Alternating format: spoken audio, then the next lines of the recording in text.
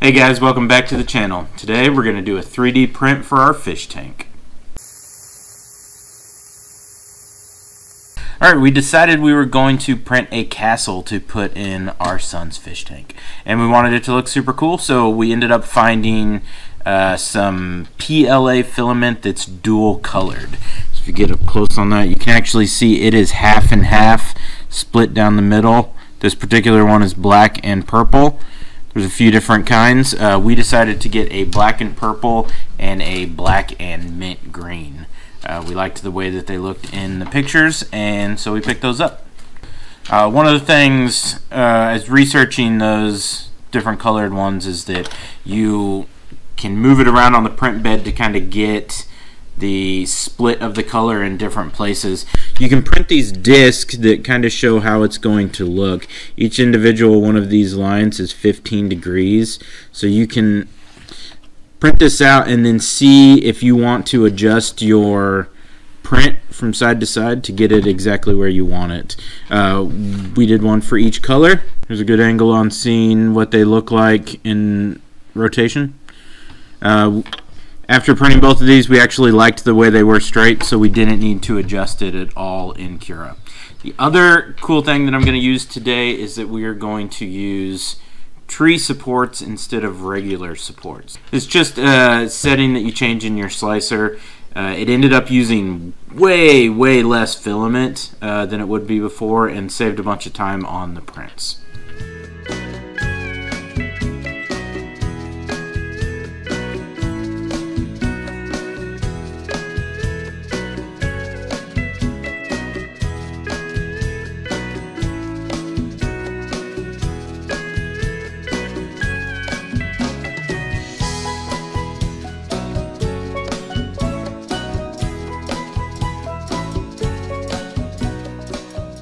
Alright, all finished on the first piece. It looks awesome. You can see black to purple and kind of the mix in between. Uh, these This tree support's super cool. Let's get this off.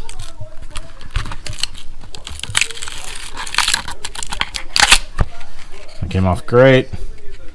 There's the bottom. See how these supports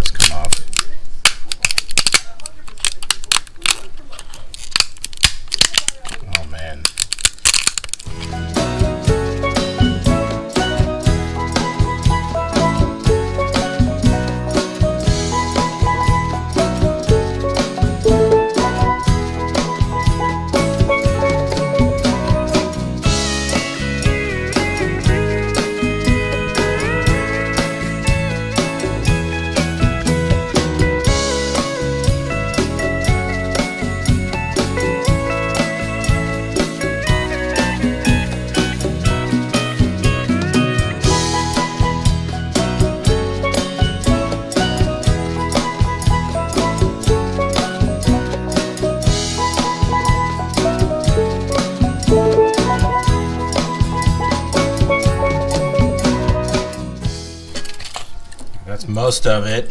Certainly going to need some cleanup, some finer, maybe some tweezers to get in there. It's hard for me to get my fingers in there. It's a little small, but looks awesome. Need to do some cleanup, and we'll check out what they look like when we keep going.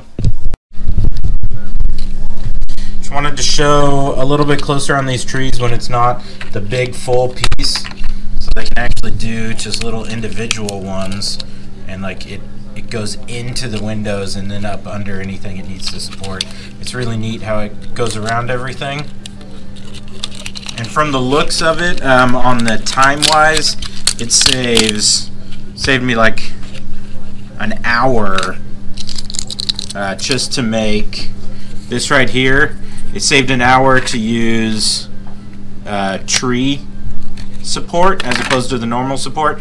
And this is barely anything. This is super soft. It's all hollow. It's really cool. So check out the trees for your support. Uh, it'll probably save you some time and it ends up crazy clean and easy cleanup.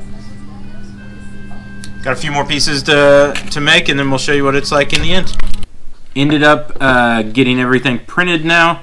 Uh, we did a few things together and some things separate pending on testing and everything and then so most of this, the bottom whole part of it is going to be the black and purple, and then the top half we actually did in the mint green and purple.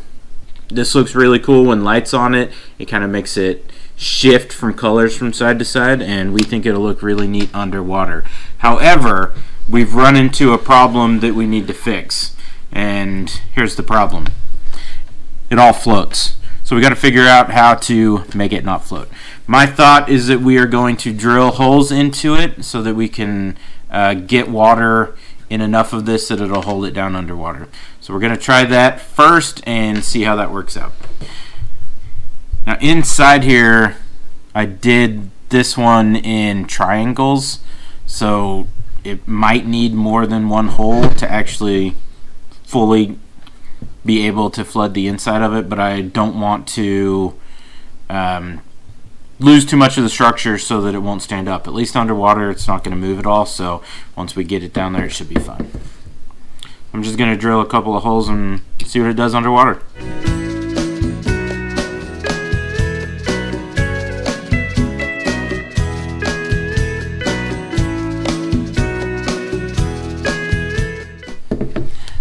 Few holes in it. Now let's see if it will fill it all. I do see air bubbles coming out.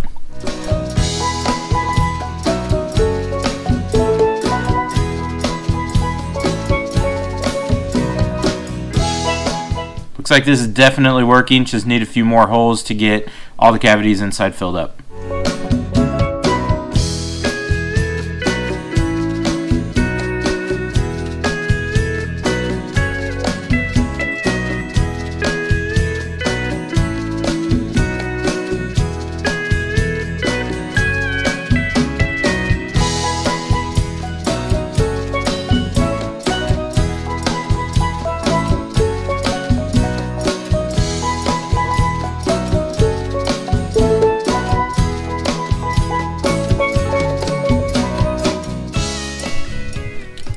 Alright, so we were trying to avoid printing the base and hoping that these would flood and hold down. I think they're flooded really well, but it's still plastic and plastic can float.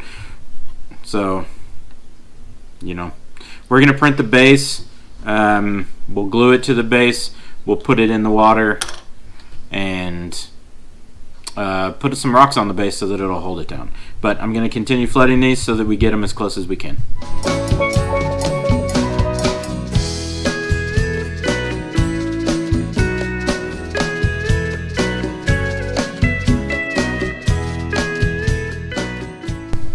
Alright, we had test printed this beforehand. It's a little bit smaller than this, but it does cover enough that we're going to go ahead and use it.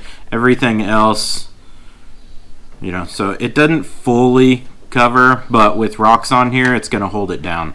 So we're going to just use that. We're going to glue it down. Uh, CA glue and activator.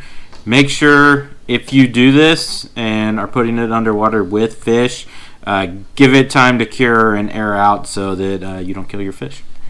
So, I'm going to put glue on this side, activate this side, put it together. Here we go.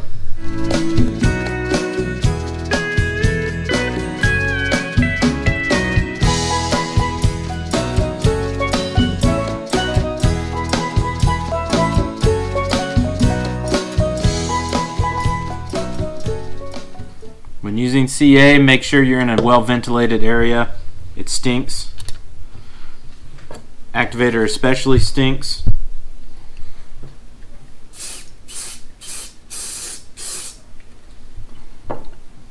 All right.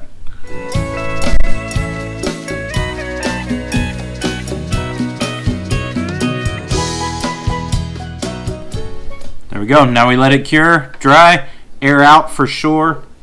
We'll uh, give it a cleaning first and then we'll come back and put it in the tank. All right, it's been a few days, so uh, this is aired out. I've washed it really good and we're ready to put it in the fish tank.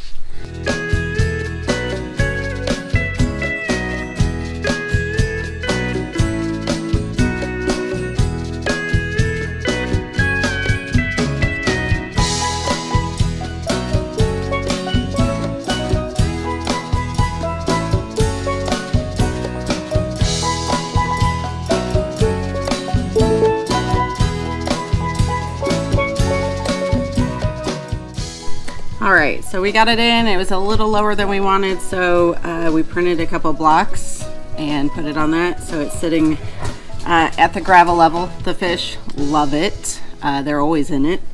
All right, so don't forget to like and subscribe, and we'll see you next time.